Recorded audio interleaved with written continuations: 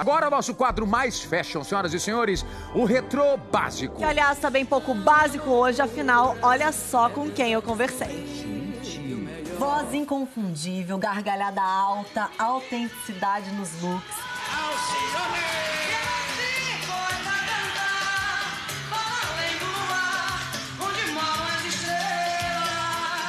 Bem-vinda. Sempre que você era apresentada para um programa, para um show, as pessoas ficavam naquela expectativa: o que, que a Alcione vai usar agora? Você se preocupava com isso, assim, eu vou causar ou não? Essa palavra causar, Causar. ainda não existia, né? No meu vocabulário, mas, mas não que eu também quisesse causar.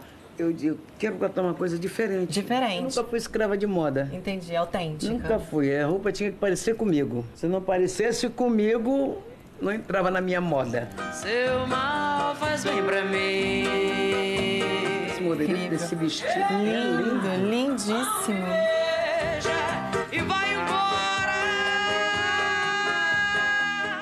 Sempre muito brilho, sempre muitos acessórios. Gosto do balangandã. Eu sou toda trabalhada na Gabriela. Nasci Entendi. assim, cresci assim, você Entendi. sempre assim.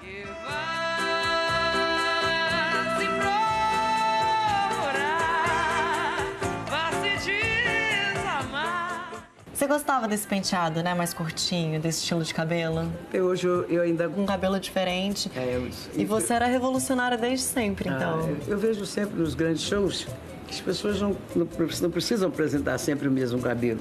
Disco é disco, show é show, rua é rua, palco é palco. É isso. Na roda da saia rendada, da moça que dança ciranda, ciranda o colo à mostra, né? Uma coisa que você gostava. Ah, eu gosto. Eu sempre, eu sempre tive a minha pele daqui muito boa, até Entendi, hoje. entendi. Eu tenho 70 anos. Erasmo Carlos já tinha dito que Ah, meu é? colo era o colo mais bonito do Brasil. Ele disse pra mim. Ah, é? Se ele disser que não falou, ele tá mentindo. Sou pistonista, mulatista. Ué, não existe a branca choque?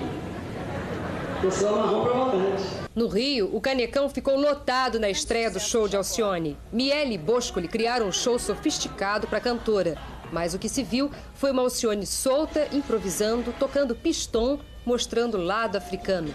E a Marrom tirou a peruca. Momento histórico na sua carreira, onde você tira a peruca, revela suas Eu trancinhas. levava, às vezes, um dia inteiro pra fazer. Aí eu digo, eu vou botar minha peruca e no palco eu tiro pra galera ver minhas tranças como são bonitas. Aí Foi mais uma performance. mais uma performance. Entendi. Eu adoro fazer performance. Tem gente que falou, ah, o senhor assumiu a negritude. Meu colega, eu já nasci dessa cor.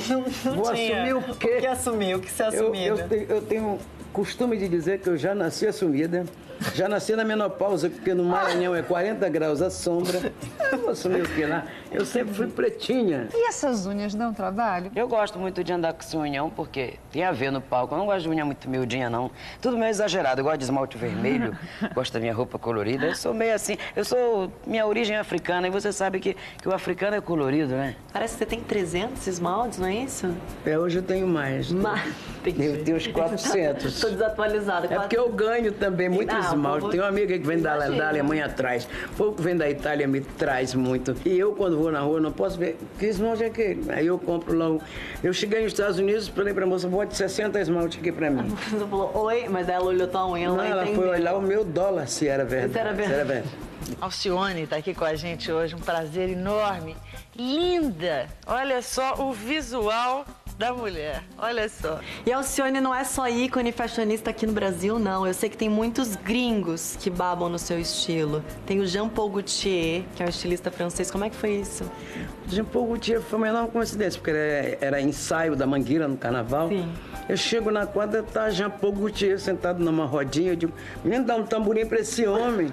Aí dei um tamborim pra ele, comecei a tocar com ele. Já ficamos amigos. Tua bandeira, vou sempre lutar. E vem cá, e o Axel Rose?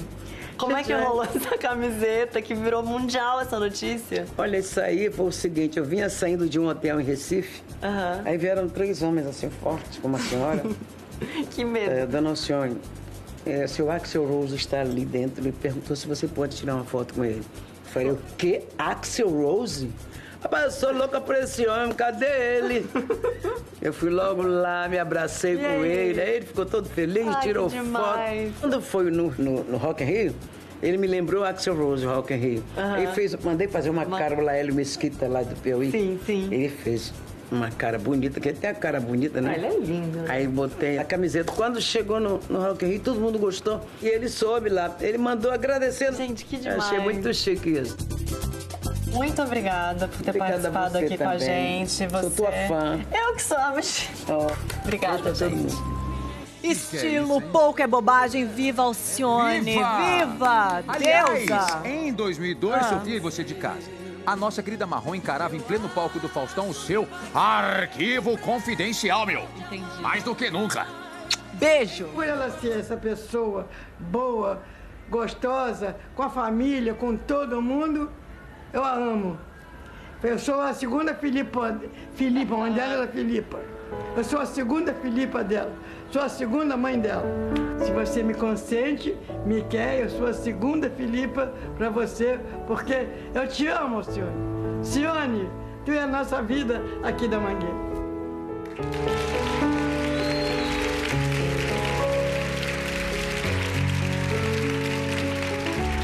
Dona Zica sabe que eu também amo muito Dona Zica e a minha mãe foi a coisa mais importante da minha vida. Mais importante da minha vida foi minha mãe e eu tenho uma saudade serena dela hoje. Ela chegou Eu a ver sei. você fazendo sucesso, tudo? Chegou.